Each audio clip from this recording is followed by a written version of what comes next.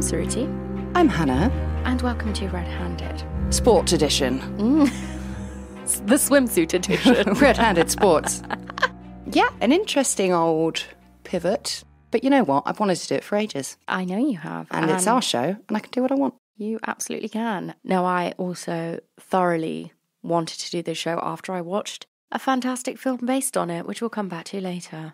So, before we get on with today's show, I just want to tell you a little bit about what's been going on this month over on Red Handed's Patreon.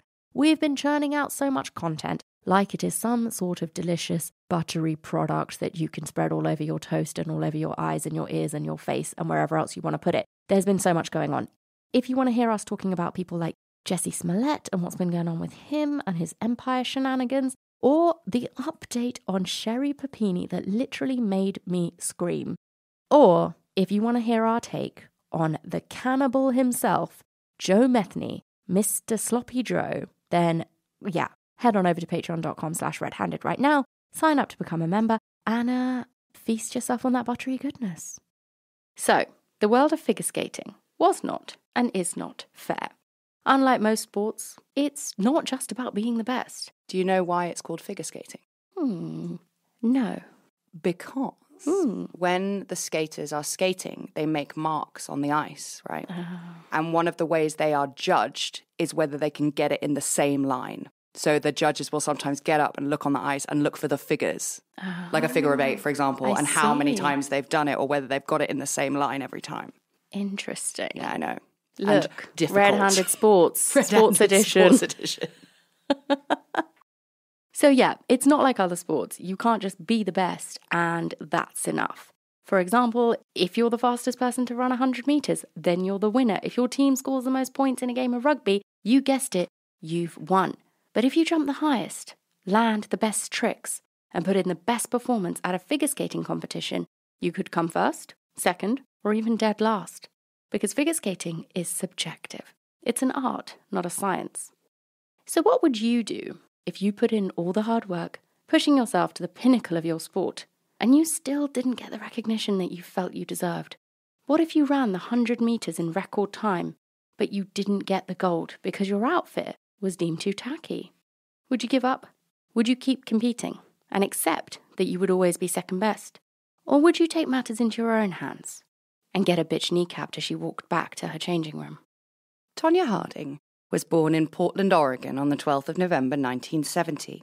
The Hardings weren't a wealthy family, actually extremely far from it. And the phrase that often gets used when people talk about Tonya, they'll say that she was born on the wrong side of the tracks. But here at Red Handed Sports Edition, we don't beat around the bush, we don't mince our words. Tonya and her family were working class and they were poor.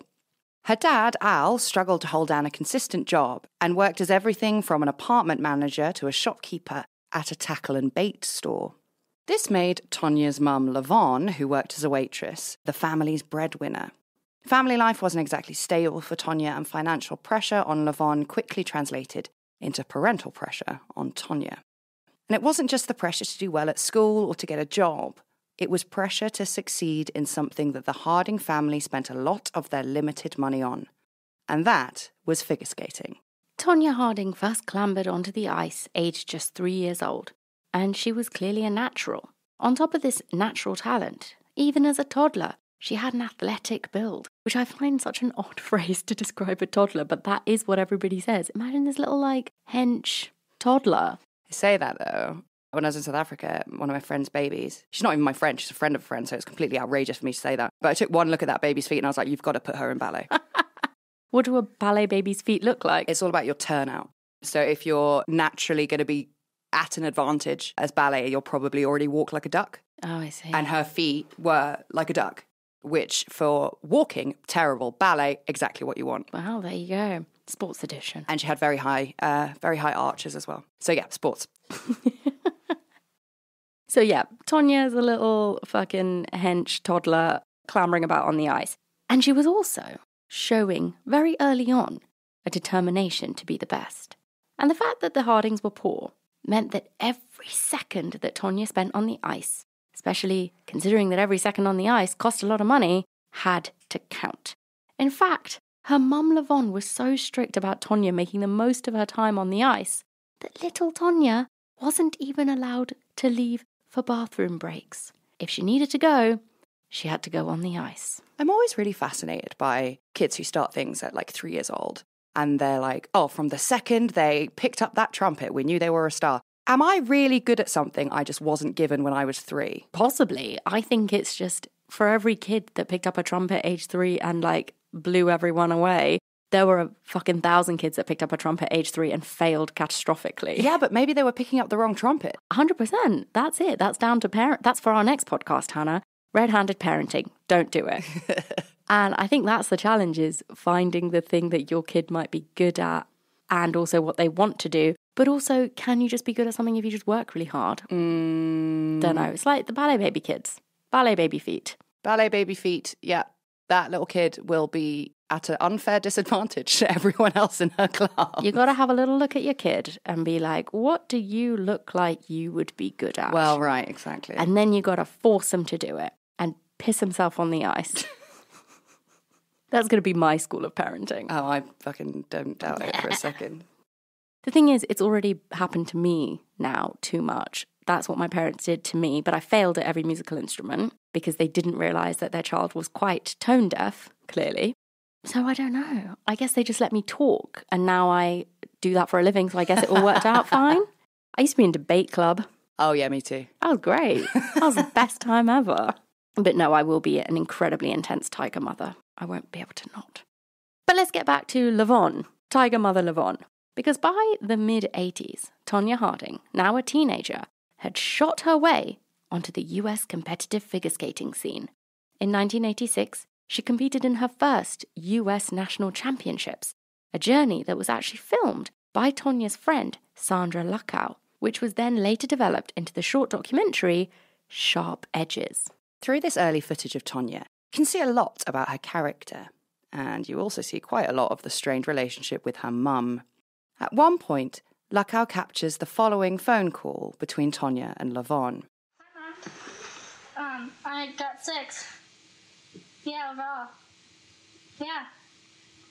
No, that's good, because now I get my international.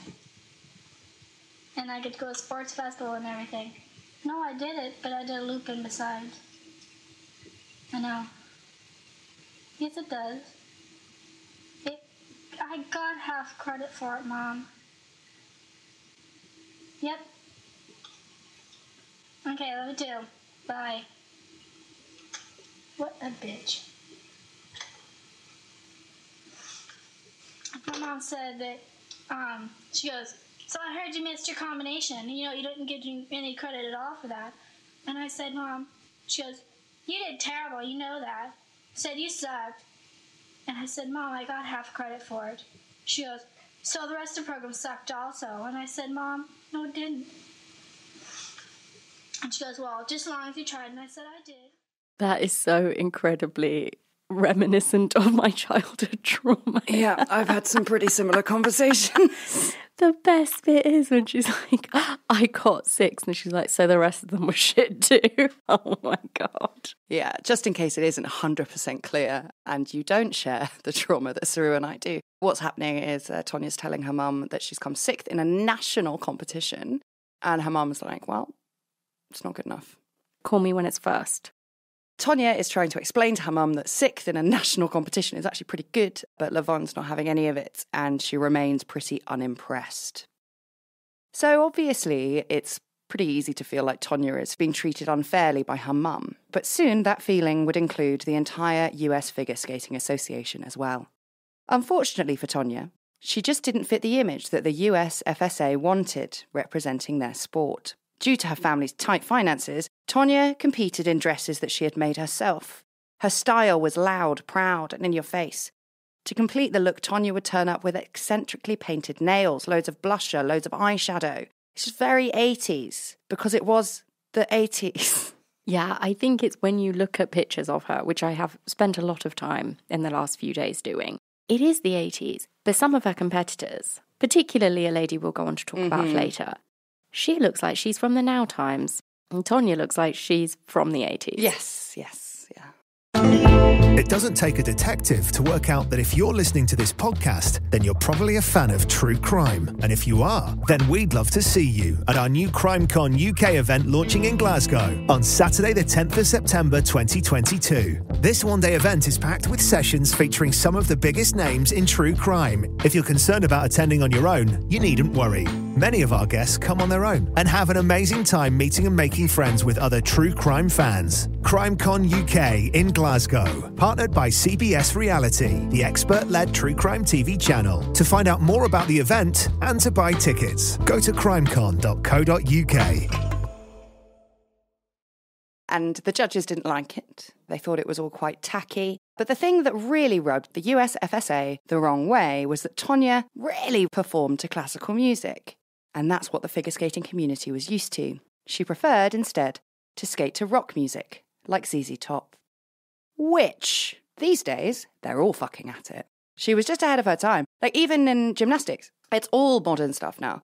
I can absolutely see it from her point of view. Be like, I can't afford a new dress every co- like every competition, so I might as well try and do something different because I can't do what they're asking me to do. The outfits that she wore, they're not like she's skating around in a fucking burlap sack. No, no. She's like, she's made incredibly fantastic outfits to wear. They're just not what the judges Yeah. like. They don't like her style. And it just so happens, like we said in the intro, that this was a sport where the way you looked and how you dressed and the music you were skating to was all very important. The image was as much a part of the performance, it seems, as the athleticism. And prejudice against Tonya for her background and how she presented herself was more than enough to actually influence the judges' scores.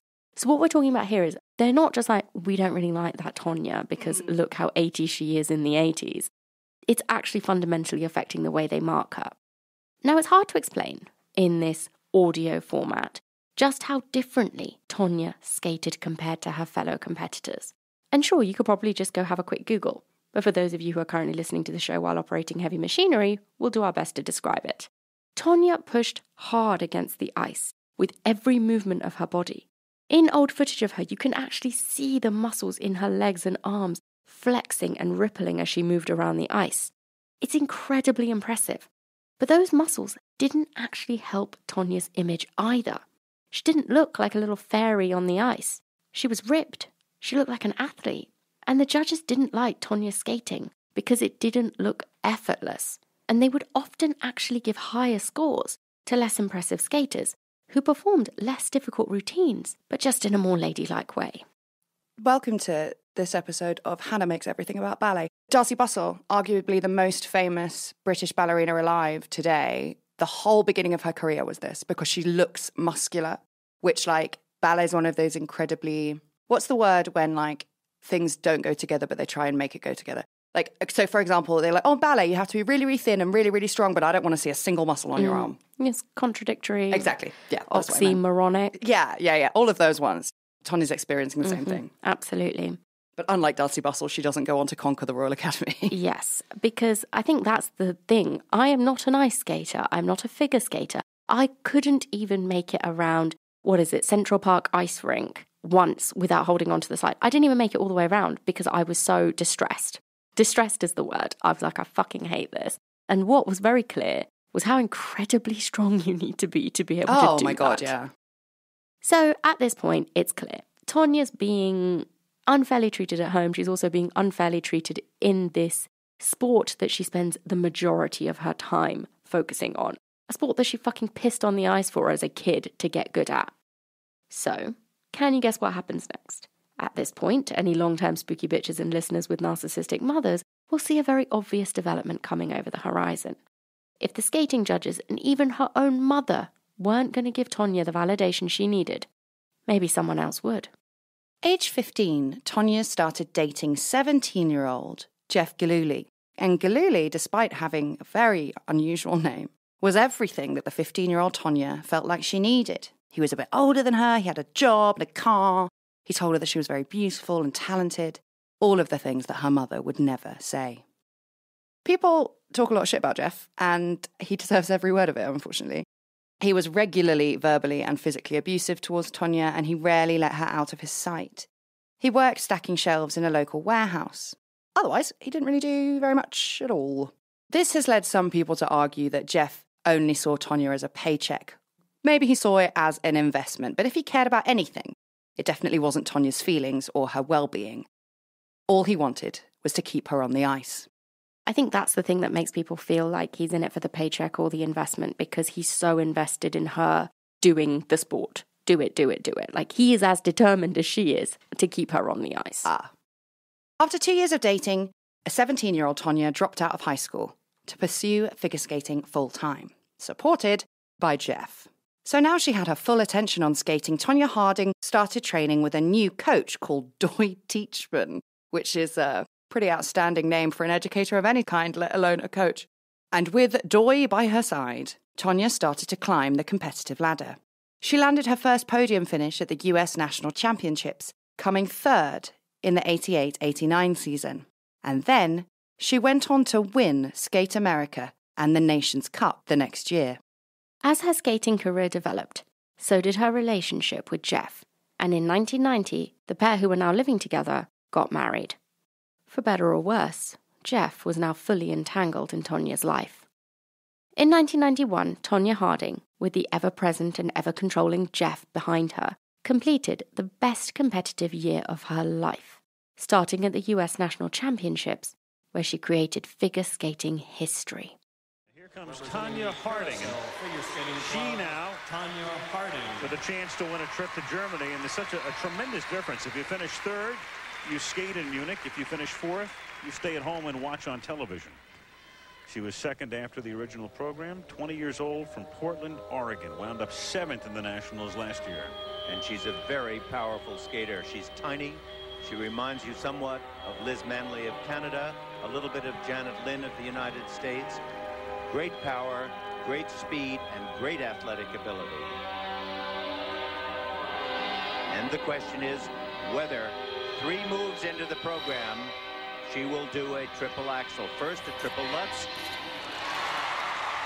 And now the question is whether she will become the first American to attempt and complete a triple axel jump. We will know that here, whether she tries it or not.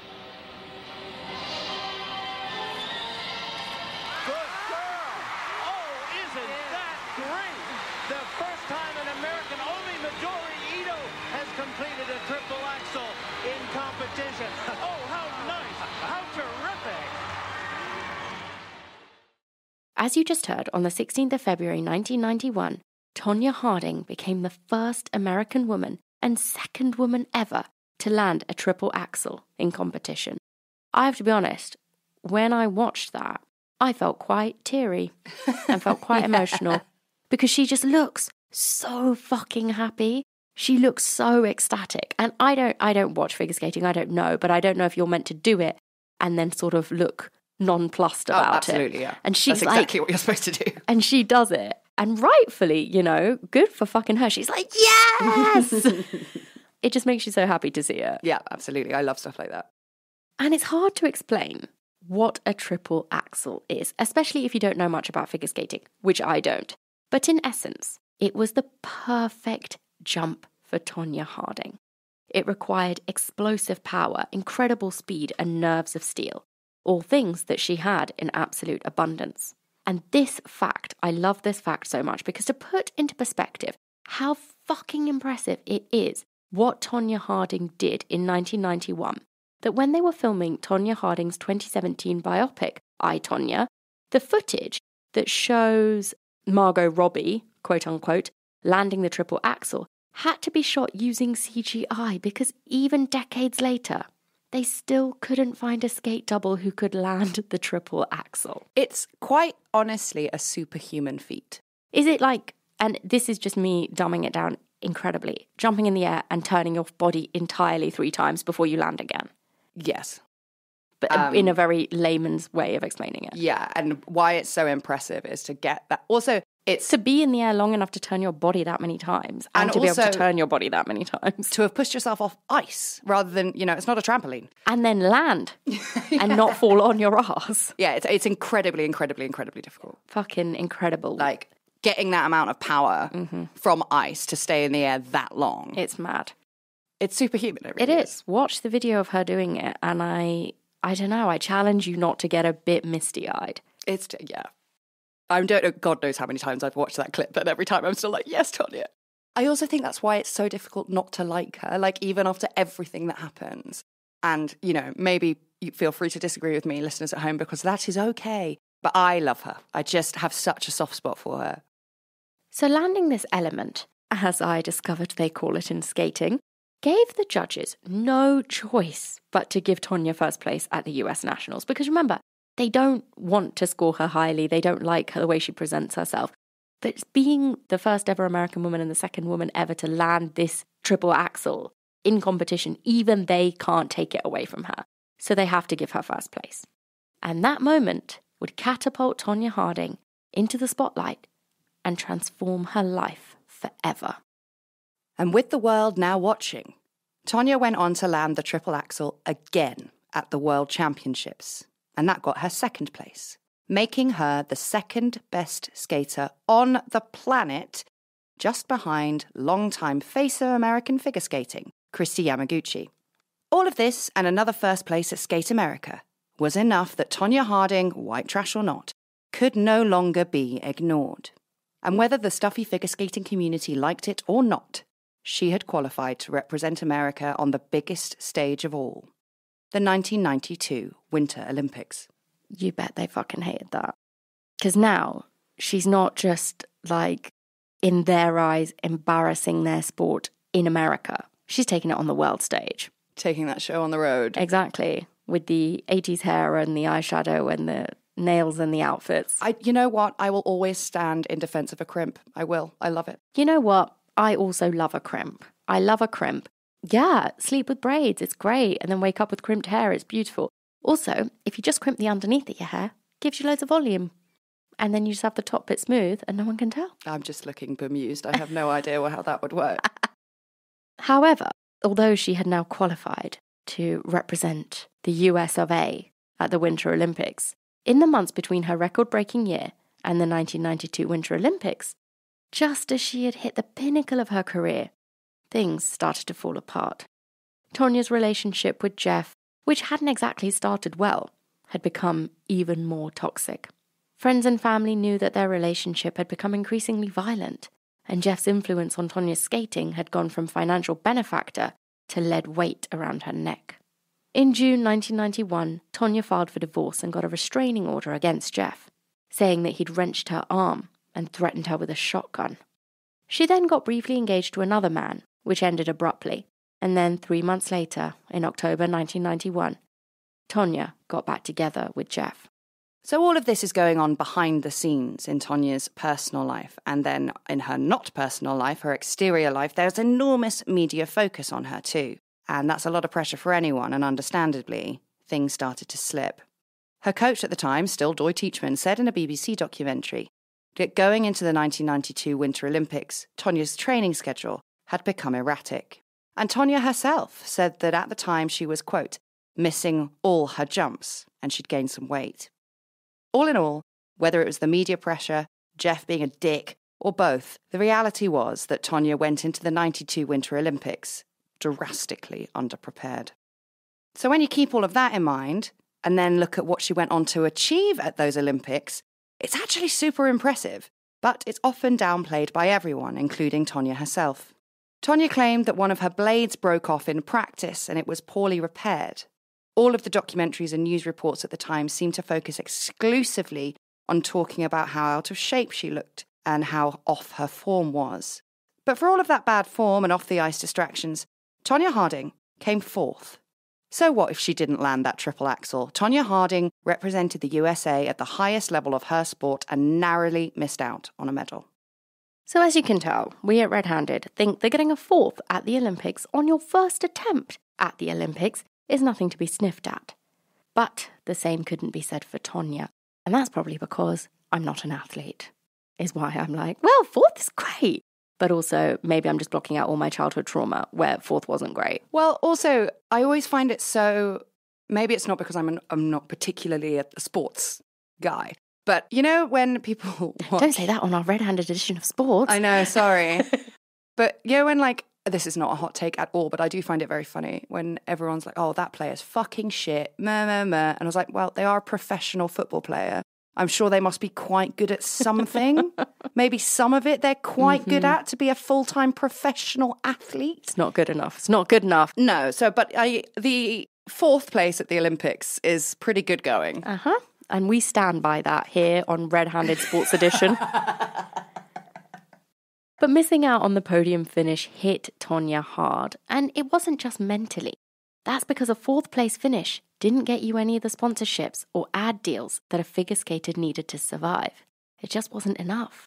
On top of this, the 92 Winter Olympics were the final hurrah for America's darling, Kristi Yamaguchi, who retired after winning her gold medal. And this left the US Figure Skating Association looking for a new face for the sport. Now, Tonya knew that a fourth place finish would mean that this face wouldn't be hers. It would, of course, be bronze medal winner and perfect ice princess, Nancy Kerrigan. Nancy Kerrigan is often presented as the villain of the Tonya Harding story, and it is easy to see why. She's more eloquent, she was more refined, she was a much more traditional skater. She's not the underdog. No, she's not the underdog. However, Nancy Kerrigan is not the villain of the Tonya Harding story, and she will not be the villain of Red Handed Dust Sports, colon Tonya Harding. She was another supreme athlete who put her all into becoming the best. Nancy, just like Tonya, was dedicated to her sport. You don't win a fucking bronze at the Olympics without being. And she just had the confidence, sometimes misrepresented by her villainizers as arrogance, that anybody needs to get to the fucking top. While the pair's relationship is pretty tense these days, for reasons that if you don't already know, how, but we'll tell you later on, Nancy and Tonya actually used to share rooms together when they were younger and out on the road competing. So they were quite close. Most of the reasons why people see Nancy Kerrigan as a baddie, quite a lot of those reasons are completely out of her control. For example, in contrast to Tonya, Nancy had a loving family who supported her, and she had the elegant, ladylike vibe that the US Figure Skating Association wanted. That's kind of it. She wasn't particularly rich, she wasn't preppy, she wasn't even a bitch. She just had a finesse that Tonya didn't have. Maybe understandably, for Tonya that was pretty difficult to swallow. And to be honest, 1992 looked like it was the end for Tonya Harding. She was set to be a funny anecdote in the history of figure skating. If she was lucky, she might be remembered as the Jamaican bobsled team of figure skating. After 1992, she could no longer land the triple axel that had made her so famous. She was broke.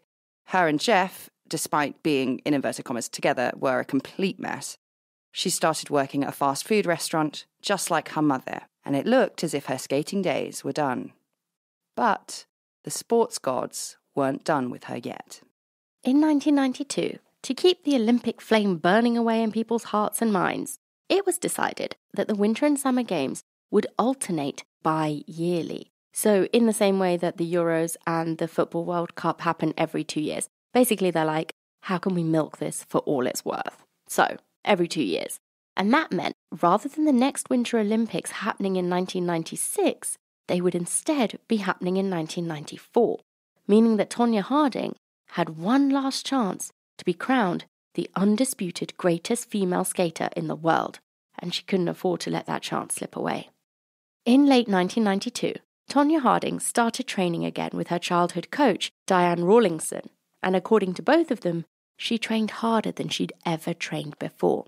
They both claim that Tonya even carried sacks of coal up big hills like Rocky, that she flipped logs over end over end, ran with buckets of water on her shoulders like she was in Mulan, and even promised to stop performing to ZZ Top, all in an effort to get a place at the 1994 Olympics.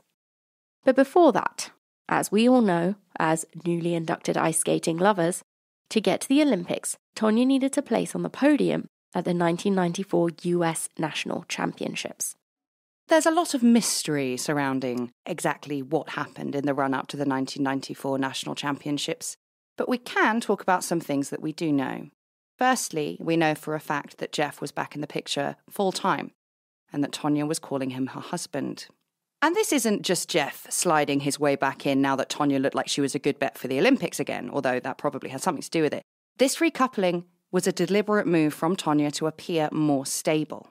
something which a US Figure Skating Association judge had suggested would make her more likable and more likely to qualify for the 1994 Olympics. It's not top model. it's not Miss America. I mean, it kind of feels yeah, like it does, it does. it kind of feels like Miss America on ice. That's what it is. It exactly like, feels like that, yeah. You need a boyfriend, Tonya. You look fucking crazy. Take some of that eyeshadow off, get yourself a boyfriend, and no more ZZ Top. Exactly. And then maybe you'll make it on The Bachelor. Yeah. And she's like, fine, whatever the fuck you need, because my back is now all coaly from all the coal I've been carrying around, so this better fucking pay off.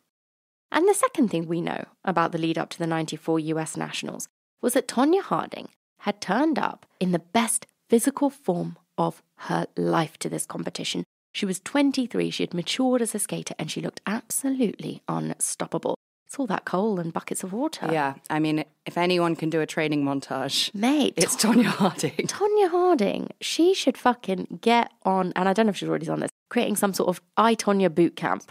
That shit would sell. And you get to do it with 80s hair and loads of eyeshadow on. she'll come to your house and do your hair and makeup for you. And then at the end, you get a manicure. Yeah, and then she'll chase you up the hill. Dream, dream. I'll be fucking terrified. That's how you get super fit. Just running away from Tonya Harding. I think we should make this happen. Let's create the next fucking, I don't know, workout DVD starring Tonya Harding and bags of coal. So, yeah, by 1994, after her intense workout, she had turned up even more muscular than she had been in 91. And from an outside perspective, it honestly looked like if Tonya Harding jumped hard enough, she could probably have shattered the ice. On top of this, Tonya had worked on her elegance and her grace. She wasn't just going all out to try land the triple axel again. Instead, she was putting together more balanced and sophisticated routines designed to get her maximum points. I think this is the other thing. We have to remember that by 94, when she's doing this and she's realized, I need to stop just fighting the system. If I want to win, I need to play within the system in order to win. And she's like creating these more balanced routines. She's 23. Like last time when she would have been 21. Like, how immature are you? You are going to be like, fuck the system, fuck my mum. I'm going to do what I want to do. And she's learned a lot. She's come a long way up until this point, although I'm sad to hear that she had to change. And then that brings us on to the last thing that we know happened at the 94 US Nationals. And this, if you know this case, is probably the moment you've been waiting for.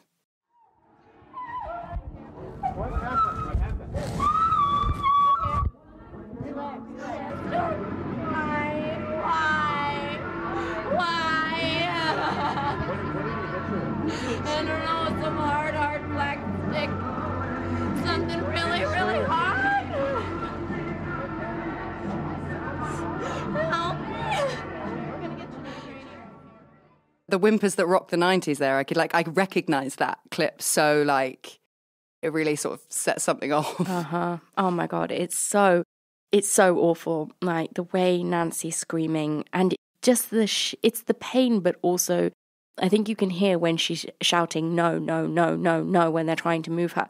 I think it's the pain, but also just the realization she knows that it's just fucked. Yeah, It's fucked. And I am by no means drawing any sort of comparison between what happened to me and my ankle and Nancy Kerrigan. But that moment you realize that you cannot move your ankle. And I am not a figure skater. I just wanted to be able to walk around. It's pretty horrifying. It's pretty horrifying. Do you know who Nancy Kerrigan reminds me of? She reminds me of Kelly from Saved by the Bell. Yeah, exactly. That's if you haven't Googled her yet, picture Kelly from Saved by the Bell, that's Nancy Kerrigan. Yeah, exactly. So, those are, of course, what you just heard the screams of Nancy Kerrigan, Tonya Harding's main competition for a place on the Olympic team, screaming in agony. Why, I hear you cry, what happened to poor Nancy? Well, she's screaming because she'd just been hit hard in the right thigh, severely damaging her quadricep tendon and taking away any chance of her competing in the 1994 US National Championships. According to Nancy, she had been walking away from the rink after a practice session in Detroit when a well built Hispanic man smashed into her right thigh with an extendable police baton. This man then ran towards a locked glass door, which he smashed through with his head. And then he jumped into a car and sped off into the distance. And the thing that's the most obvious when you look at the footage, which, you know, give it a YouTube is just sheer confusion. Nobody really knows what's happened. Nobody knows where the attacker went, why he did it, or what in the name of Torvill and Dean was going on. And you might think, like we have so many times before, that we're about to clear all of those questions up for you. And we are, kind of.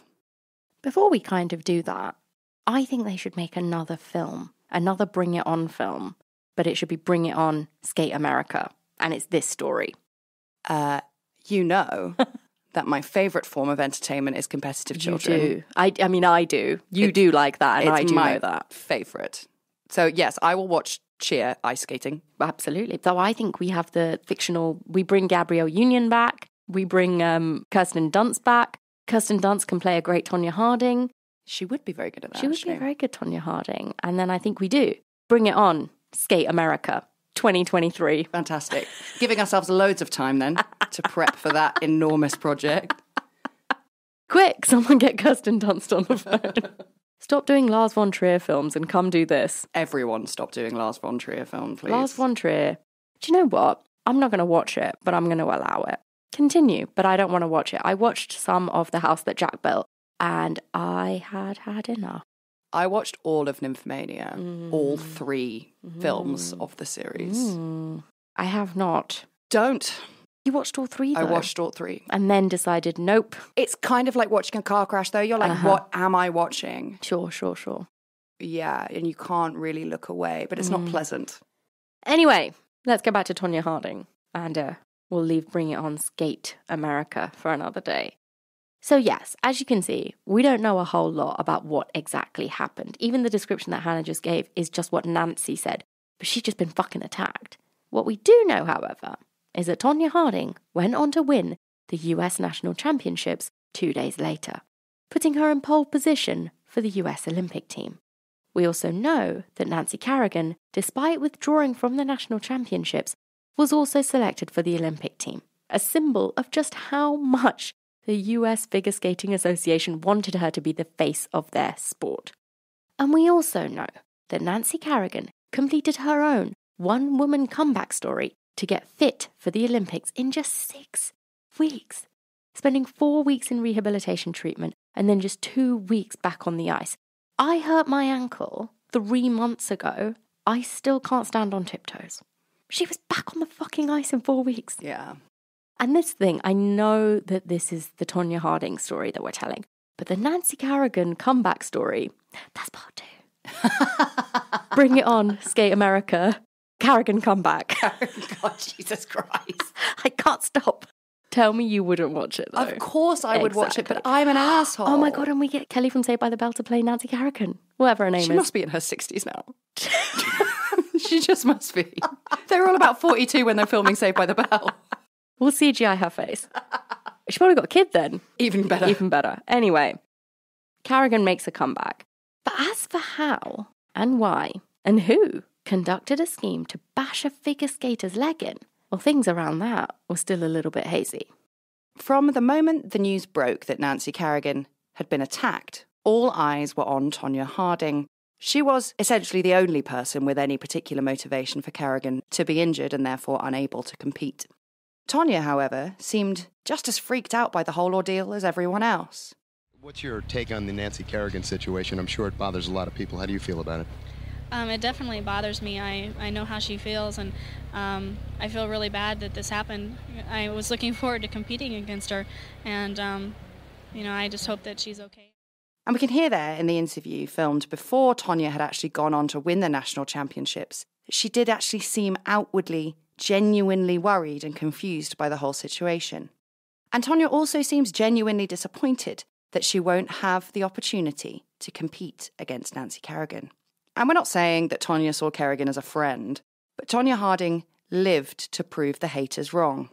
And beating Nancy Kerrigan in a fair fight was a big part of that. And I do think that, like, in, let's say, like, dancey sports, like ice skating, like gymnastics, rhythmic gymnastics especially, I think the sort of sportsmanship element kind of gets deleted or not thought about as much. But I do think Tonya Harding was a, a sportsman and she wanted a fair fight. Oh, absolutely. I think that whether your sport is reflective of that sportsmanship or not, the mentality it takes for somebody to get to the top of their game like she did, the determination, the mindset she had that you have to have to be a high performing athlete. There's no way I think Tonya would have been satisfied with just winning de facto.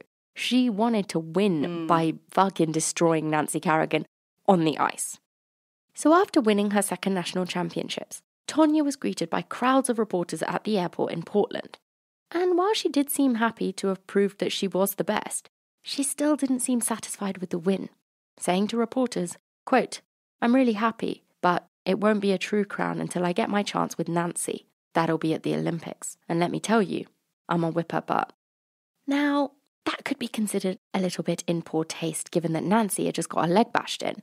But it's not, at least in our opinion, the words of someone who wanted Nancy Kerrigan injured. I think that's the thing. Like, would you really say that if you were just ordered the hit on her? I don't know, maybe. I don't know. I mean, it's a pretty good double bluff, but I think I've made my feelings pretty clear. I really, really, I don't think she never knew. I think she probably didn't know when she said that. Yes, let's let's come back to that in a moment. For now, let's stick with Tonya because for the next few days after the championships, if we believe Tonya Harding's breakdown of events, she existed in a weird little bubble. A bubble where everyone was watching her. She'd proven all the haters wrong, and there'd been a huge controversy in her sport which she was just as keen as everyone else to get to the bottom of. And that bubble was just about to be popped. Just days after Tonya returned home from her comeback win at the US Nationals, a local news channel called KOIN TV received an anonymous letter stating that Tonya Harding was directly involved in the attack on Nancy Kerrigan, along with Jeff and three other men called Sean Eckardt, Derek Smith, and Shane Stant. And if you thought this story was strange before, we cannot wait to introduce you to these three. Let's start with Sean Eckardt. For reasons that will soon become clear, Sean Eckardt's life story and how he, along with Derek Smith and Shane Stant, came to be part of the Tonya Harding trilogy are unclear. So, as we delve more into the murky side of this bizarre tale, we'll be relying in part on the go to source for all things Tonya Harding, Sarah Marshall. You might know Sarah Marshall as one of the hosts of the podcast You're Wrong About. But something really interesting and very particular about this week Sarah Marshall's big break was in 2014 when she wrote an article on Tonya Harding called Remote Control. Sarah was the first, apart from Tonya herself, to talk about the injustices and prejudices that Harding faced because of her social status. And Sarah was also the first one to talk about how much Tonya was manipulated by domestic abuse. And over the last decade, Sarah Marshall has very much earned her crown as the definitive source for all things Tonya. And it's thanks to Sarah's article that we're able to piece together the events that led up to Nancy Kerrigan being attacked and how Sean Eckardt was at the very centre of it. So Eckardt was 26 when Nancy's clobbering hit the headlines. He was 300 pounds, had short cropped brown hair, and one of the worst moustaches we've seen in a very, very long time. He looks like a cartoon character.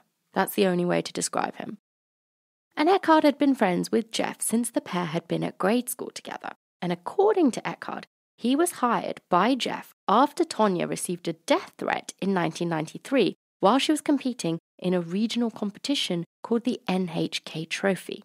If we believe Eckardt that this is what happened, then Jeff and Tonya felt that Eckardt, who ran a business called World Bodyguard Services from his parents' spare bedroom, was the perfect man to provide Tonya who by this point was like pretty famous, she's not like a nobody, but that he was the right person to offer her protection. However, according to the letter sent in to KOIN TV, Sean Eckardt had been hired for a much more sinister purpose to take out Nancy Kerrigan.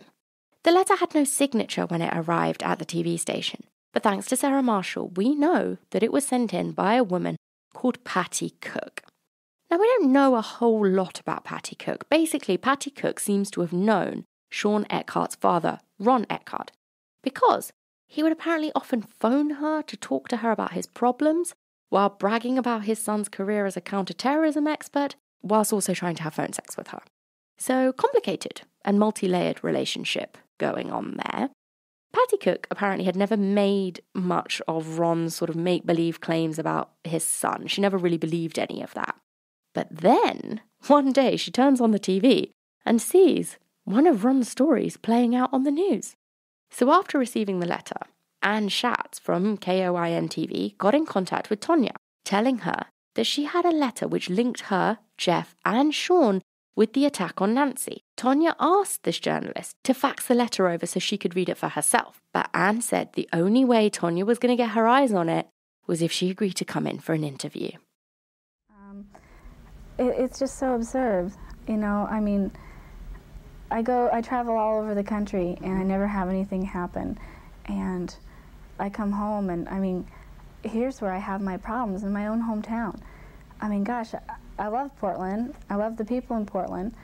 But, you know, why does someone want to discredit me? You know, I worked my butt off for this. Mm-hmm. And if anybody wanted to, you know, beat Nancy, it was me. Who wanted to compete against her the most? It was me. Because everyone says that she can beat me. Well, I don't believe that. I know in my heart that I can beat her. And there is people out there that, that do think that I can beat her. But, you know, I didn't get the chance. You know, so who loses? I do. I lose. With the FBI getting involved, you were very quick to say, I'll cooperate, I'll tell you everything I know, which at this point isn't a whole lot, correct? Yeah, I don't know anything. I don't know for sure anything about what's going on at all. You know, and of course I'm going to cooperate. I mean, I don't have anything to hide, and I want the person to be caught as much as anybody else does. It's so sad. I know. It is sad.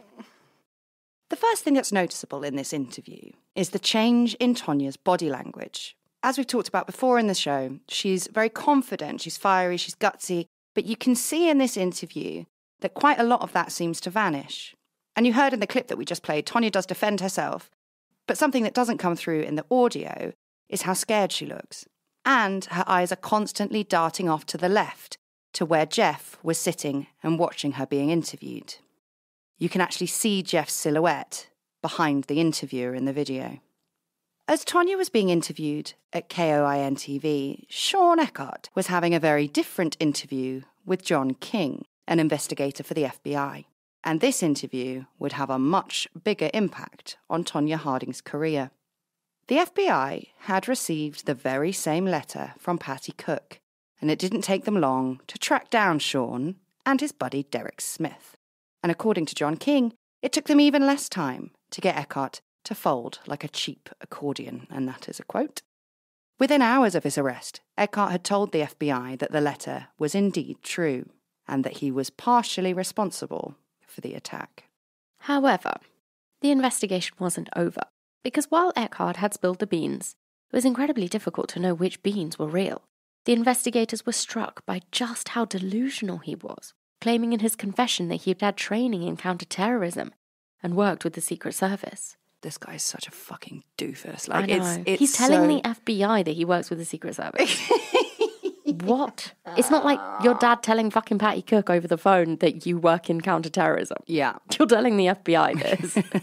and they are very able to check. while they investigate you for a crime that is currently completely engulfing all of the headlines.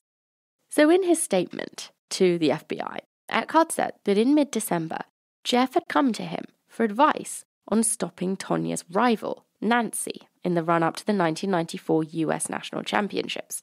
According to Eckardt, shortly after this, he'd had a call from his mate, Derek Smith, who wanted to know if he'd like to move state and start an anti terrorism training camp. Sure. However, according to Eckardt, he told Smith that he had a bigger deal to put on the table, bigger than a fucking training camp in another state. He said that he could offer Smith good money to help him disable a figure skater. And this wasn't just for the hit, because basically Eckardt told Smith that Jeff had promised him protection work for Tonya and some of her wealthy skating connections if he just carried out the attack on Nancy. Allegedly, Smith said that he wanted in on the deal and that he would even bring his nephew, Shane Stant, to help with the job. How much money does this, guy think is in figure skating? Figure skating protection. Honestly. and also, why does it take three people to hit somebody in the leg? Derek Smith, now also in FBI custody, confirmed Eckardt's story. Smith had fallen on hard times after he was discharged from the army, where he had been an intelligence analyst, When Eckardt told him that Tonya had recently received a $10,000 donation from the owner of the New York Yankees, a man who would probably need bodyguard services in the future, this offer was just too good to refuse. And the owner of the Yankees genuinely had donated that money, but he'd done it through the USFSA. There's no evidence that Tonya had ever met this man, let alone spoken to him. But Derek Smith didn't know that. Smith had recently applied for a job as a police officer. He was enticed by the money, but he didn't want to risk getting a criminal record. So he brought his nephew Shane Stant down to Oregon for the job instead. I love that. He's like, I don't want to get a criminal record, but it's fine if my nephew gets a criminal record. Just as you say, why does it take three people to hit someone in the leg? No idea. So while speaking to the FBI, both Smith and Eckardt confessed that on the 28th of December 1993, the two of them, along with Shane Stant, had met with Jeff to hatch the plan to attack Nancy. And Sean Eckardt, who seemingly couldn't get enough of all the attention he was getting once he'd confessed, actually then went on TV to talk about how things had played out on the night of the meeting and what had motivated him to be a part of the scheme. He asked me if I could find him somebody, put him in touch with someone to ensure that Nancy Kerrigan didn't skate at the uh, Nationals. Did someone say we should kill Nancy Kerrigan? It wasn't phrased like that. Uh, Jeff used the term, he just said, well, why doesn't somebody take her out? And then I immediately came to the conclusion that it might have meant, you know, some sort of, you know, some sort of something that it possibly may or may not have been. And after he said that, um, you know, I just popped up real quick and said, no, we don't need to do that. You don't need to, you know, you know, there's other things you can do to disable somebody rather than you don't need to kill them. It was sort of decided within within the group that, you know, disabling her landing leg, you know, um, something that was not permanent, something that was recoverable. And who decided which leg? Uh, Jeff did, her landing leg. The leg. Jeff said break her landing leg. Yeah, the leg that she lands on. I think this is one of the problems with this case is that these men confess very easily, but they also are quite stupid and also delusional and love attention, which is a dangerous combination in somebody confessing to things. They're astonishingly stupid. Like I can't believe that they think they can get away with this in the 90s. It's like it's the think it's the 16th century. So, based on the clip you just heard, after this revelation, Tonya's attorney felt that she had no choice but to make another statement to the authorities. So, on the 18th of January 1994, just weeks before she was set to go to the Olympics, Tonya Harding told the authorities in Portland, Oregon, almost exactly what they wanted to hear. After at first denying any knowledge of the attack and refusing to implicate Jeff, Tonya eventually folded, like presumably a more expensive accordion, and told them that her ex husband Jeff and his high school friend Sean had plotted an attack on Nancy, specifically to take her out of contention for the US Olympic team. But she also told them that she had only found out after the KOIN TV interview. And after that interview, she had directly confronted Jeff on the way home. And when she did that, Jeff punched her in the face. Tonya also told District Attorney Norman Frink, a man with the world's most punchable face, said that in the weeks since her interview, she'd learned more about the attack and that she hadn't come forward sooner for fear that Jeff, who had threatened her with a shotgun, would kill her if she spoke out. She also told authorities that she was $109 overdrawn, something of interest given that we know she was sent $10,000 by a wealthy benefactor to help keep her skating. So yeah, I guess it's like, how are you $109 overdrawn when you we know you got that money? Where did it go? Did it go to pay for this hit? Is basically what people are saying. Right. Is or like, where did that money just disappear to? Probably your incredibly abusive husband. But did he take it to pay somebody to hit somebody in the leg? Hit Nancy in the leg so that you would win the Olympics and get loads of sponsorship money? These are the questions. And it was at this point that Tonya made the decision to leave Jeff for good. And she went to stay with friends. A week later, on the 26th of February, Jeff was brought in for questioning, and in disbelief that Tonya had turned on him, he spilled his own Jeff flavoured beans on how the attack on Nancy Kerrigan had played out. Jeff told the FBI that he'd originally spoken to Sean Eckardt in early December 93, after Tonya had placed poorly at the NHK trophy and had blamed skate politics for her poor result. According to him, the two had been chatting as friends when Eckardt wondered aloud what would happen if Nancy Kerrigan was forced to retire from the 94 US Nationals in just a few weeks' time. Jeff said that he liked the idea and that he told Tonya about their plan because he thought that if she didn't know what they were going to do, she would also have been shaken by the attack. Which Jeff's a piece of shit, but that kind of makes sense. Oh, definitely. Yeah, like if somebody's just like going around attacking figure skaters, obviously that's going to throw Tonya off her game if she doesn't know what actually happened. I think she got a death threat as well. They do say that earlier. They said that the reason he first got in touch with Sean, like we said earlier, was because she got a death threat in 93.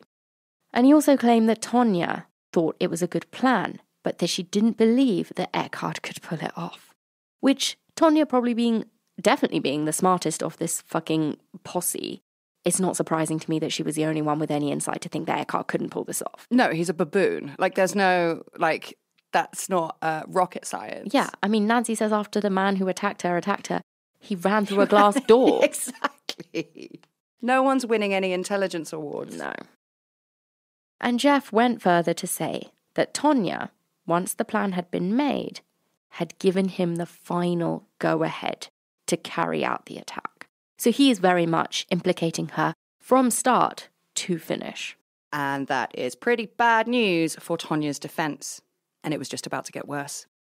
So Jeff claimed that Tonya had called a freelance journalist called Vera Marano, who she'd worked with previously. And Jeff alleged that Tonya had called Marano and got information on where Kerrigan would be. And unfortunately for Tonya Harding's defense, on the 22nd of January, Vera Marano claimed that these calls had actually taken place. After this, and given the press frenzy around this case, Tonya had no choice but to publicly make a statement. And so on the 27th of January, the day after Jeff's interview with the authorities, Tonya's team called a press conference, and the world waited with bated breath. I would like to begin by saying how sorry I am about what happened to Nancy Kerrigan. I am embarrassed and ashamed to think that anyone close to me could be involved.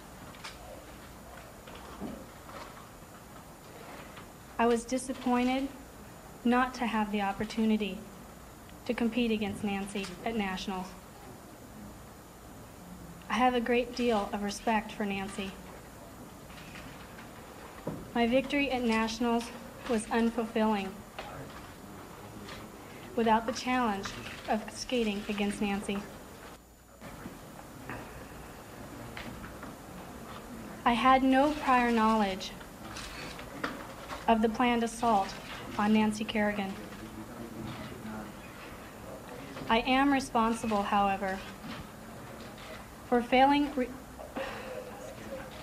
for failing to report things I learned about the assault when I returned home from nationals.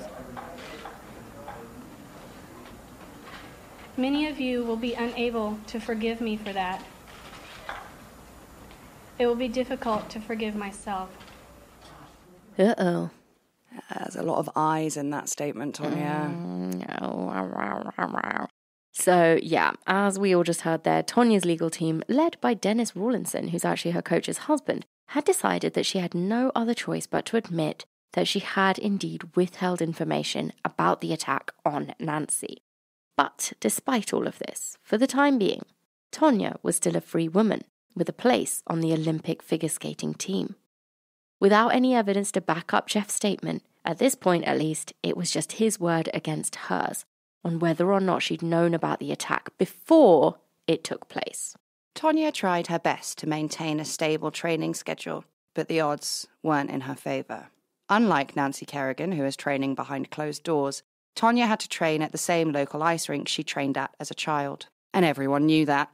Thousands of people turned up every day to watch her, and everyone from local news to the New York Times were rinkside, all desperate for a picture, a video, or even better, an interview with the now infamous Tonya Harding.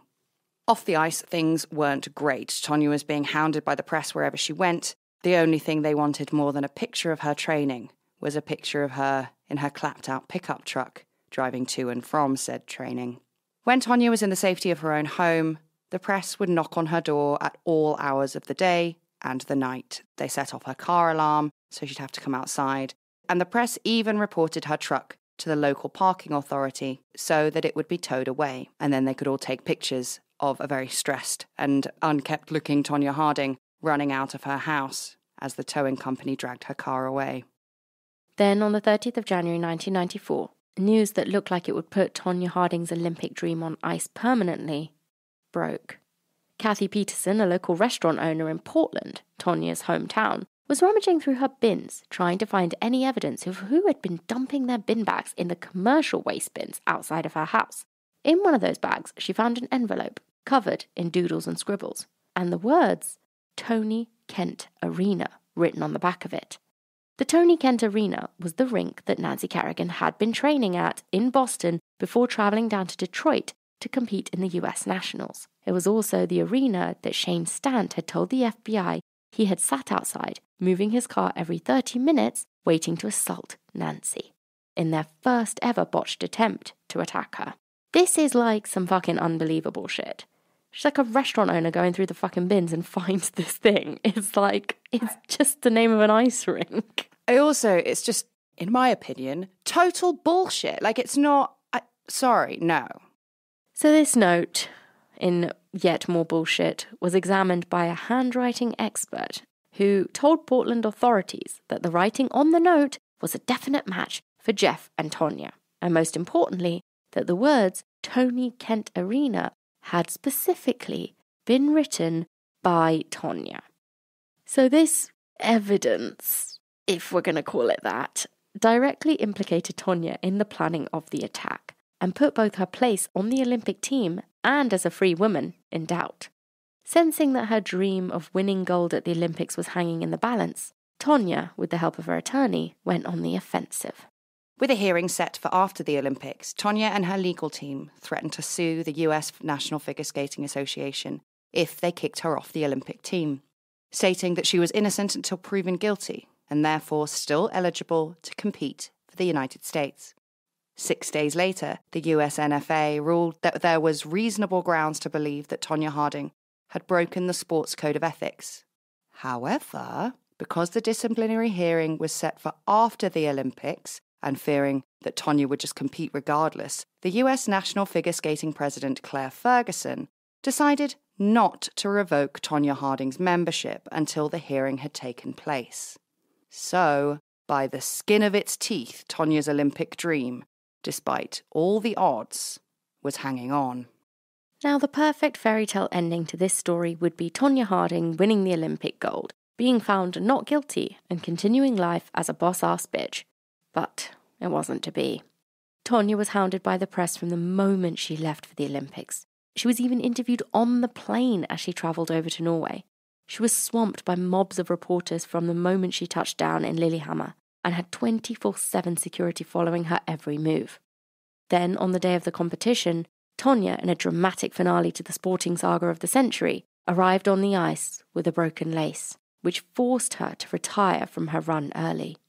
The judges on the day gave her a reskate. They have to do that. That's not them doing her a favour. Yeah, I was going to be like, her lace is broken. Surely. Yeah, there's a really famous picture of her slamming her skate up on the judges' table and being like, you have to let me go again. But even when they let her go again, it still wasn't to be. The month between her win at the Nationals and her appearance at the Olympics had taken its toll on Tonya Harding, and she failed to land a triple axel in either her long or short program, and ended up finishing eighth. Nancy Kerrigan, on the other hand, put down the performance of a lifetime and came back from unbelievable odds to win a silver medal. Can we just give major props to Nancy for yeah, that? my God, yeah. Fuck me getting whacked as hard as she did, as hard as you heard her fucking screaming moments ago, she comes back and wins silver play six weeks later. That's fucking sick. Go, Nancy. Yeah, Nancy takes no shit. Just over a month later, after the Olympics, on the 16th of March 1994, Tonya Harding pleaded guilty to conspiracy to hinder the prosecution. As a part of a plea deal, she admitted that she had witnessed Jeff phone Derek Smith after the attack had taken place and that she had witnessed evidence during several phone calls which she had failed to report. For his part, Jeff, having also taken a plea deal to provide a statement against Tonya, was given a two year sentence and had to give a public apology to Nancy Kerrigan. Shawn Eckardt was given 18 months for racketeering. Shane Stant, who had carried out the attack, and getaway driver Derek Smith both pleaded guilty to conspiracy to commit second degree assault. Stant served 15 months before getting out and turning his life around, apparently. Tonya Harding was given three years probation and a $100,000 fine and 500 hours of community service.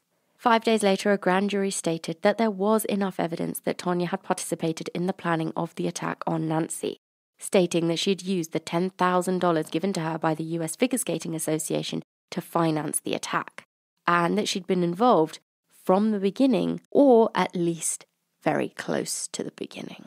However, she wasn't charged as part of her plea deal.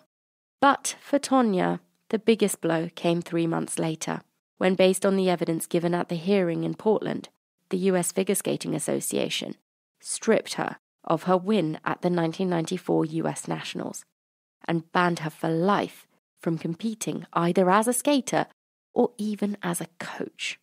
And Tonya, despite the scenes in I, Tonya, didn't appear at the hearing and she didn't appeal the decision. And even though the US FSA doesn't have control over the entire pro skating competitive scene, Tonya was outcast by the community and she couldn't find any further financial support or sponsorship. Her last competitive skate was in 1999 when she came second in an ESPN skating competition. After that, she had a short lived career as a professional boxer and then went on to make several appearances on American reality TV. She's now remarried and goes by the name Tonya Price. And since the release of I, Tonya, she's made a significant comeback in the eyes of the public, which was only further compounded by a 2017 interview she gave on Ellen, in which she said that she still trains three times a week, but now is much more focused on being a good mother to her son, Gordon. I just have such a soft spot for her, and I don't know whether, I mean, I'm sure it is me just being completely taken in by propaganda. um, but I, please feel free to disagree with me, people at home, and be like, well, she's a horrible piece of shit, and you're just being taken in by Hollywood. I mean, but I- I, yeah. I don't think she knew. no, knew. and I just think it's people aren't that simple. If there's anything we've learned on Red Handed, people aren't that simple. I think she probably did know about it. I can't condone that. That's not very sportsmanship. It's not very good of you, Tonya. Don't do that. Because, you know, Nancy could have been fucking. Nancy could have never walked again, for all you know. Like, you didn't know what that guy was going to do. It's, it's awful if she knew about it. If I was in a court of law, I don't think they would have presented me with enough evidence that I would have convicted Tonya because they can't prove that she knew about it from the beginning. The $10,000 being missing is very suspect. But we also know Jeff could have just taken that. Yeah, that's what I think. I don't think she never knew. No, I think, no, no, I no. think on the night it happened, I don't think she knew it was going to happen. I don't know if she did or not, but I wouldn't I wouldn't convict Mm. her in a court of law. Right, yeah, yeah, yeah. But I wouldn't say that I emotionally convinced that she didn't know. But for me, the real hero is Nancy. Again, whacked in the fucking leg and Yeah. coming back and winning silver six weeks later. I've got a soft spot for her. My whole body is soft for Nancy. Love her. So yeah, that's it, guys. And you know what? Whatever you think of Tonya Harding and whatever she did or didn't do, I do think that the story of her background, like we do with anybody we cover on Red Handed, is still worth telling. Like the domestic abuse is not in question, the abusive relationship she had with her mother, Lavon, the difficulty she had, you know, challenging the norms within that sport and getting to where she got, all deserve a huge amount of praise and admiration. For everything else, the jury's out. So that's it. Hopefully you enjoyed that. And if you'd like to, I don't know, listen to us talk about some other things, then head on over right now to patreon.com slash redhanded and become a patron of Red Handed. And then you can listen to and watch all the bonus content you would like to your heart's content. Yeah, and you can also come over to Spotify for our Spotify exclusive show, an original from Parcast, which is called Sinister Societies, which is not red handed sports, it's red handed narcissists. So you can get that only on Spotify, and we'll see you there or here or maybe in your bedroom. Turn around. Goodbye.